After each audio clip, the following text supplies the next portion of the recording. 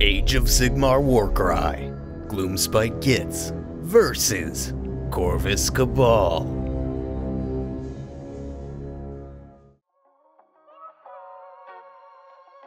Hello, folks, and welcome to another good old Warcry battle report. Today we are descending into a cave where mushrooms and minecarts are the theme of our amusement park, and for some reason the Corvus Cabal have invited themselves to ride as well.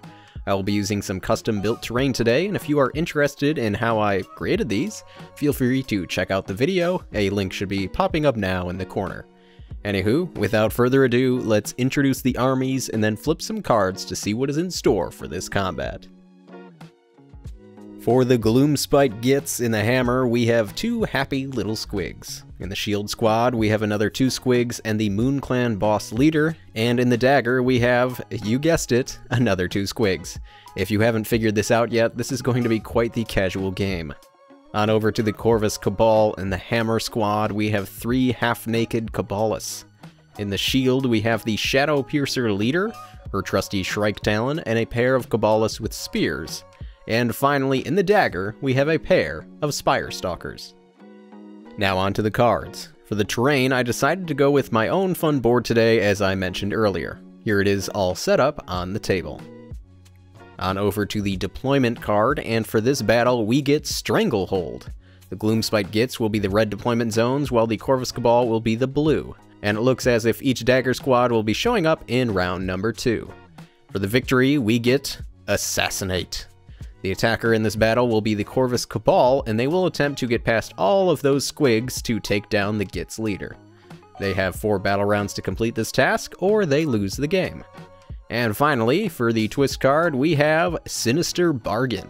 For this battle, the Corvus Cabal are lucky and will get to add this blue-winged Raptorix to their warband, and this creature will be on the board turn 1. With all of that out of the way, let us get those fighters on the battlefield and then roll some turn 1 initiative. For the Gloomspite Gitz, they end up rolling a triple and a handful of singles. For the Corvus Cabal, they take their 6d6 and roll up a triple, a double, and a single. The Gits have the initiative and will hold on to their wild die this round, and the bird folk have decided to do the exact same. So the round begins with the blue squig who will move up just a few inches and begin the protection blockade for its leader.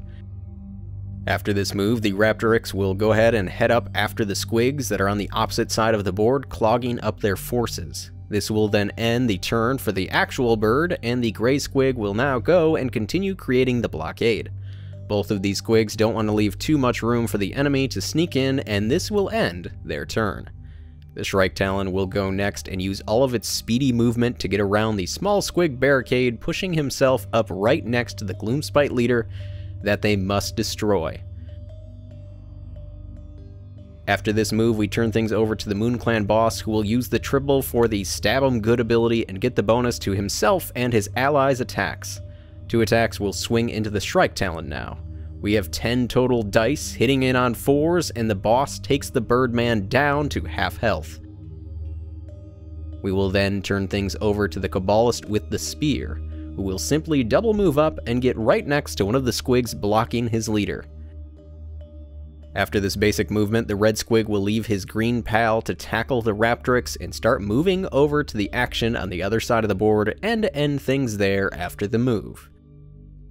Another Cabalist will take its turn moving up behind its brethren, and with a double move he will end its short turn. The final activation for the Gloomspite Gitz goes to the green squig who will take the bait and attack twice into the Raptorix. The green blob is hitting on threes with 8 dice, and after that roll, the bird is eliminated. Well, it turns out squigs can hit pretty hard. For the rest of the turn, folks, since there is no more Gloomspite Gitz moves, all of these Corvus Cabal fighters will double move to position themselves closer to the Gloomspite fighter they have to destroy. So after all of these fighters fly around the table with super speed, we will end Battle Round 1. The Corvus Cabal are closing in on the Gitz in their home turf. Can the Squigs protect their leader, or will the bird folk swoop down and pluck out the enemy leader? Let's move on to some turn 2 initiative. We will start off with the Gloomspite Gitz once again, and they roll up a double and a bunch of singles. For the Corvus Cabal, they end up getting a pair of doubles and a couple singles. The Gits have the initiative, and they will only use one of their two wild dice to make a triple and hold the initiative, while the Birdfolk will boost a double to a triple and make another double. Also, let's not forget some reinforcements are coming in this round to cause more havoc. So, let's start off turn 2 with the Moon Clan boss who will immediately use the triple for the stab 'em Good ability, and then attack into the Shrike Talon. Hitting on 4s, the first attack deals in 10 damage to take out the fighter. With still another action, the leader will start running away from the mess that has emerged in front of him, and end his turn there, 4 inches away from the board's edge. The Corvus Cabal leader, the Shadow Piercer, will do something very similar to the Moon Clan boss and use the triple ability Grizzly Trophy. Nearby allies will now get an extra attack at close range. The leader will then move up to the side of the blue squig and attack in. Hitting on 4s with 5 dice, the squig only takes 4 damage. The gray squig will go next and attack into the Cabalist right in front of it. He does get the bonus from the nearby Moon Clan boss here, Hitting on threes, the first attack absolutely decimates the fighter, and the squig will then move back a little bit to further protect his leader and will end his turn there. The other Cabalist with a spear will go next and is just within range of the damaged blue squig. Two attacks will go into the squig one after another, hitting on fives, but the extra 8 damage is not enough to take down the monster, and her turn will end. The blue squig is on its last leg, and it will go striking into the leader. The beast is hitting on threes with a boost to its dice. And the squig bites into the Shadow Piercer, dealing a big 16 damage, but that is not enough to take down the enemy leader. Following this, a Cabalist will move up and then attack into the blue squig, hoping to take him out. The fighter hits on fives here, and with an unfortunate roll, the Cabalist gets the squig down to only one health. An unfortunate turn for the Corvus Cabal. The red squig here will go next and will have a very simple turn just moving over and repositioning itself near the one thing it must protect, and end its turn there. Another Cabalist will go and just has to do one damage into this blue squig. The fighter will move up and attack the beast. Hitting on fives, and this is just pathetic for the Corvus Cabal. Oh boy, hopefully they can hit the Moon Clan boss once they get near. For the rest of the round, we will have a bunch of double moves where fighters will get closer to the main action. I figured this would speed things up. You know, you all are busy people and probably have some things to get to, like your scheduled 2 o'clock book burning. Anyways, after all of these moves, we end round number 2.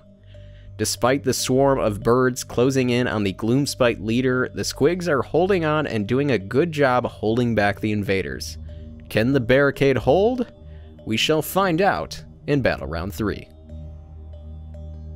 We begin initiative with the Gloomspite Gitz, and they end up rolling a double and a bunch of singles. For the Corvus Cabal, they end up getting a pair of doubles and a couple singles.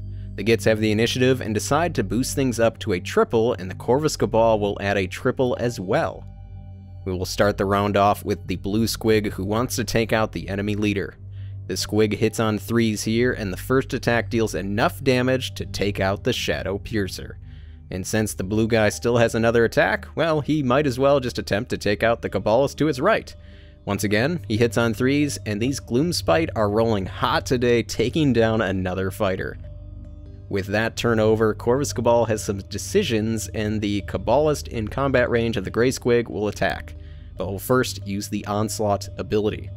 The fighter hits on 5s against the Grey Monster, and after two sets of attacks, the Gits fighter takes a solid 8 damage. After this, we'll move things over to the yellow squig, we'll move up and engage the Cabalist with the spear. Once again, we have a 3 to hit, and the Cabalist will end up taking 4 points of damage, but he manages to survive and fight another day. This will turn things over to the Cabalist in front of the blue squig, and he is just praying to some chaotic god that he lands a single point of damage. He hits on fives, and after what feels like six tries, the squig is finally taken down. The Cabalist will then move up onto the train tracks and hopefully next turn get around the back end to the Gloomspite leader. After this, we move things over to the green squig, who will pop off the rush ability and sprint on over to the two Spire Stalkers and use its second action to attack the gentleman. The squig hits on threes here and rolls amazing once again, slamming in 12 damage, almost taking out the fighter. The damaged Spire Stalker will fight right back into the squig and clear out some room for his ally. The Stalker hits on fours. The first attack deals in 4 damage, but the second only 2. Not the best rolling there, and things will turn back on over to the squigs. The red guy here will move up to the Cabalist on the minecart tracks and attack the enemy hitting on threes and gets the fighter to half health, but the Squig's turn will end there.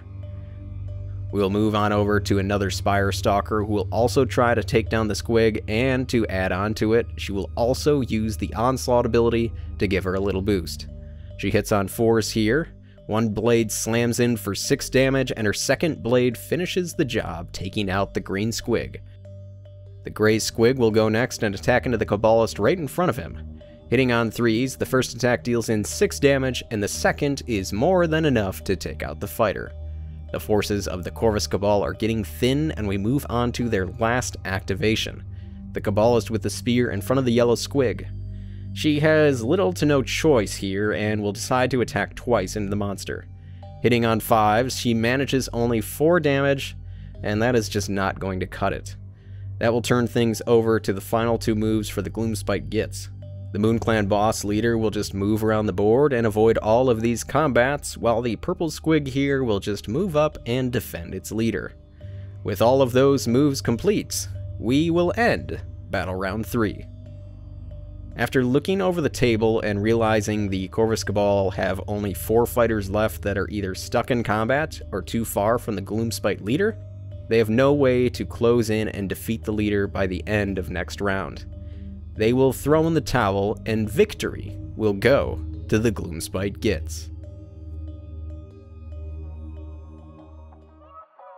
At the start of it all, I thought the 9 fighters on 7 was going to overpower the Squig herd, but it turns out a bunch of little monsters came to fight today, and they fought hard. Even though it was a bit of a one-sided affair, the game was still a blast for me, and I hope you all enjoyed it too. If this is content you enjoy, please let me know by checking out the Patreon, subscribing, commenting, and checking out all of my other socials. Until next time, folks, I want to thank you all for watching, and of course, happy gaming.